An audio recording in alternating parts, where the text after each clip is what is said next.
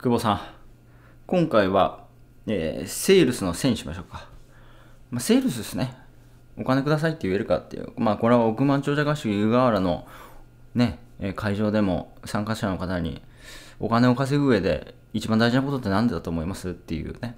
久保さんはね、もう正解してましたからね。久保さんは正解してましたからね。お金くださいっていうことだみたいなね。お金稼ぎたいんだったらお金くださいって言えっていうね。めちゃくちゃシンプルなんだけど、まあみんな言えないんですよね。そう。なこれがね、まあ本当にシンプルに言ってしまうと、お金稼げない人はお金くださいっていうことを言ってないわけですよ。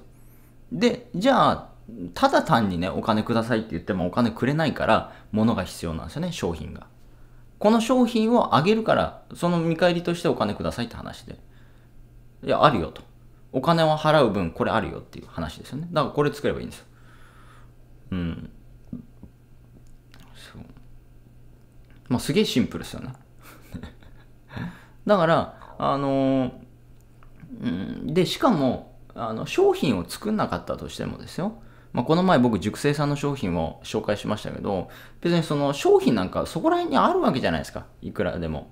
で、今、アフリエイトっていう言葉もね、まあ、だいぶ浸透はしたと思うんですけど、未だにアフリエイトっていう言葉を知らないんであるならば、まあ、ちょっと勉強していただければいいんじゃないかなと思うんですけども、別にその A8 さんとかね、バリューコマースとか、アフリエイト B とか、まあ、A、大御所の ASP があって、そこに広告主がいて、その広告主が自社の商品をアフリエイトしてください。自社の商品を宣伝してくださいって言ってね。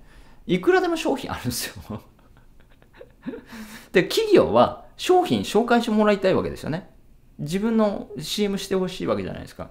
だし別に自分で商品作らなくても、別にね、ジャパネット高田僕好きなんですけど、ジャパネット高田も自社商品ほぼないですよ。